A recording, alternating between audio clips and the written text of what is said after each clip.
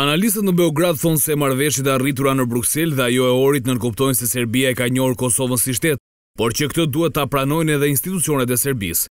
Ata përmendin njohjen e dokumenteve dhe një sërë çështjesh të tjera, por thonë se presidenti serb Aleksandër Vuçiç po nguron ta pranojë. Nga Serbia kërkohet dhënia e rezultateve në raport me Kosovën që është njohja de facto. Sipas njohësve të zhvillimeve, raporti vjetor i Komisionit Evropian, ku kërkohet nga Serbia që t'i përmbushë obligime në dialog, Është në një farë mënyre thirrje për të njohur sovranitetin e Kosovës. Ofrimi i njohjes de facto është në kuadër të Marrëveshjes së Ohrit. Në thelb kjo do të thotë se Serbia e pranon se në realitet ekziston Republika e Kosovës dhe jo e ashtuquajtura Kosovë, madje as ajo me fusnotë. Në kuptimin juridik dhe diplomatik kjo nënkupton, siç shkruhet në Marrëveshjen e Shkurtit, Pezullimi i veprimeve për pengimin e njohjes së Kosovës dhe krijimin e pengesave për Kosovën në organizata ndërkombëtare, tha Dushan Janjiç nga Forumi për Marrëdhënie Etnike. Edhe pse Beogradi zyrtar refuzon ta pranojë që me marrëveshjet e arritura e ka njohur de facto Kosovën, për analistët kjo nënkupton një gjendje faktike dhe të qartë por që në Serbi po manipulohet. Presidenti i Serbisë tha se i pranoi marrëveshjet pa nënshkrim. A do të thotë kjo tani se një fjalë e dhënë në komunikimin zyrtar të një lideri dhe një politikani nuk do të thotë asgjë? Marrëveshja nënkupton që Serbia nuk do ta pengojë hyrjen e Kosovës në organizata ndërkombëtare, përfshirë OKB-në. Me marrëveshjet e Brukselit, të gjitha institucionet realisht e kanë njohur Kosovën.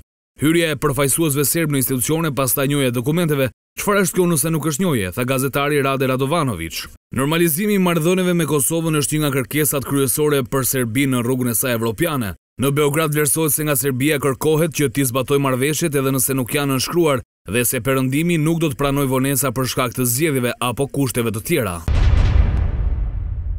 Ish-kryeministri i Kosovës Isa Mustafa beson se të gjitha plotësim-ndryshimet në draftin statut të Asociacionit Komunave me Shumicë Serbe, i cili u pranua nga Kosova javë më parë, duhet t'i nënshtrohen filtrimit të Gjykatës Kushtetuese.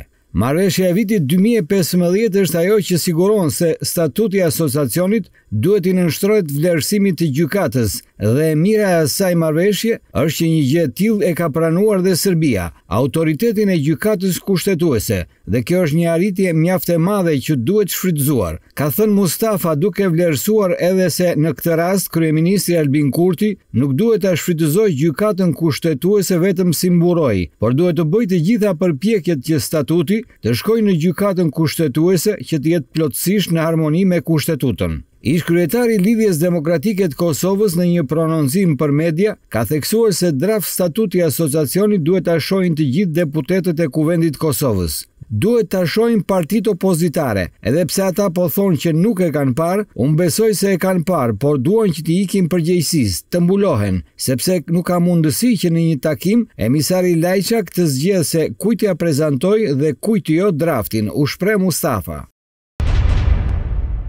Ish-deputeti Ben Blushi në promovimin e librit të tij Komploti ka komentuar dhe politikën në Kosovë, duke parashikuar një të ardhme jo të mirë për vendin. Blushi ndër të tjera ka thënë se Kosova duhet t'i bashkohet Shqipërisë, ose do të ndodhë ukrainizimi i saj. E vetmja rrugë që Kosova të shpëtojë nga kjo është bashkimi me Shqipërinë. Për shkak të ndryshimeve të pritshme në sferën globale, Rusia, Amerika, këto të dyja krijojnë shumë konflikte. Nëse ato nuk do të kishin konflikte me njëra-tjetrën, ndoshta nuk do të kishte edhe konflikt në veriun e Kosovës, ndoshta nuk do të kishte konflikt në Izrael apo Ukrainë. Bota ishte shumë më e qetë, deklaroi Blushi. Rusia mendon që Kosova duhet t'i takojë Serbisë. Amerika mendon që Kosova duhet të jetë e pavarur. Nëse gjejnë pas dhjetë vitesh këto të dyja një marrëveshje dhe ajo marrëveshje është në dëm të Kosovës, çfarë do të ndodhë më pas? E vetmja rrugë është që partitë në Kosovë të mos negociojnë më për targat, por për bashkimin e Kosovës me Shqipërinë. Nëse ndodh kjo, nuk ka kthim mbrapa. Por nëse Kosova vazhdon në këtë rrugë, veriu mbetet i rrezikuar. Ukrainizimi i Kosovës nuk është i pamundur, nuk është i përjashtuar me metodat dhe fuqitë që ka Kosova sot, theksoi Ben Blushi.